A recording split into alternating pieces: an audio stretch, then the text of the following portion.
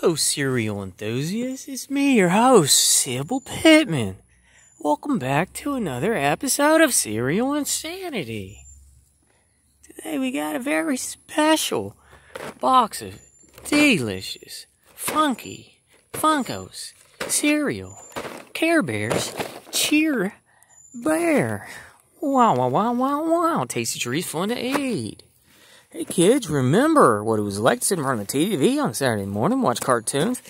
Why eating cereal? You're watching the Care Bears cartoon, 1985. I don't know what you're doing, 1985. You probably weren't even born 1985. Okay, this one expired. First of all, where's my cheer beer? Cheer beer, cheer wine, boom. Oh, that's cute. Like every uh, Funko cereal at this point, it's expired. Uh, the the whole idea is done. It's tanked. Uh, but this one expired February twenty first, twenty twenty. So it's a year and a half past its expiry. This was a BoxLunch exclusive back in the day. And look at that cute little cheer bear. Lovely. And some cereal. This is Cereal Sanity episode 88. Light pink, very stale.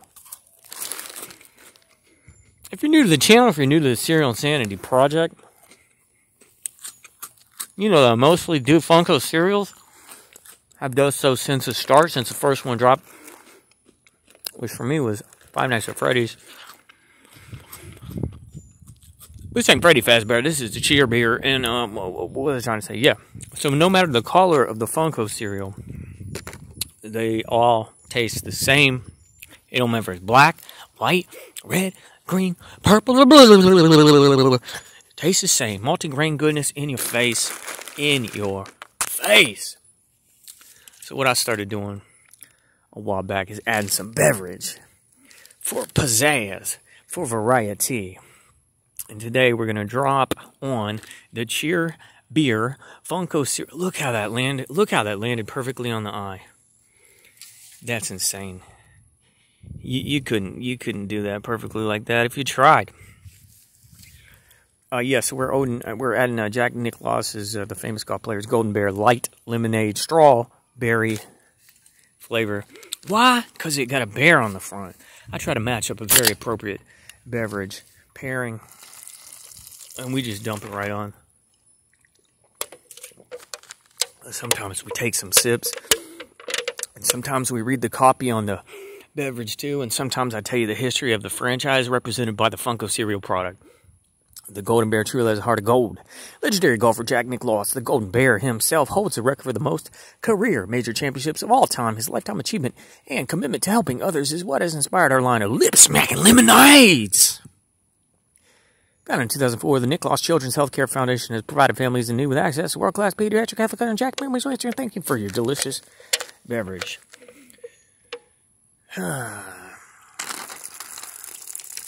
Do it to it, get into it, get involved. Care Bears were created in 1981 as characters, as illustrations for greeting cards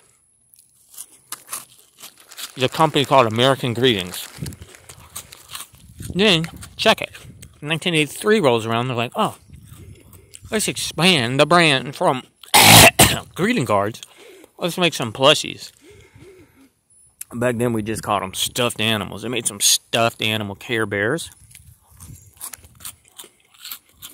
Cheer Bear was one of the original 10, along with uh, grumpy and wish a lot, uh, laughs a lot, uh, Bear, and and my favorite, Good Luck Bear. Why is he my favorite? Because he's green, and why is my cereal chewy? You know I love green, and because I could use a little good luck. I could also use some cheer. Toy Insanity is nothing if not cheerful, full of cheer, and full of spice cereal in his stomach hole. Now, here's the thing with the Care Bears, 1985 broke out success on TV. Those characters from Cleveland. I like to remind people a lot of people involved with the design of the Care Bears and the TV show. They were also the creators of the Madballs. Cleveland, Ohio represent.